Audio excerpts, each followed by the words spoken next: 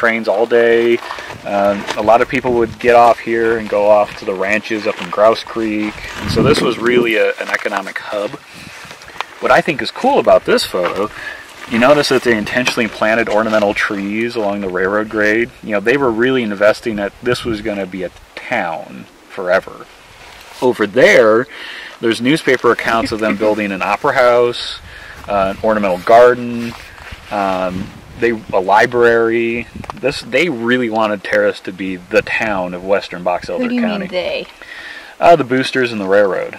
You know, so a lot of folks wanted people to be coming out here to make settlements. There's not a lot of water. That's the problem. Um, so the railroad wanted economic improvement out here because that's more profit for them. Um, plus, you know, land speculators, everyone else wanted Terrace to be a big community, and then it was for about 30 years. You know, 800 people is a lot of people out here. By 1900, this was largely a ghost town because as the railroad started contemplating going across the Lucin, going across the Great Salt Lake, they started moving a lot of the railroad operations out of here. Which moved people out. Bingo. So the economy dwindled.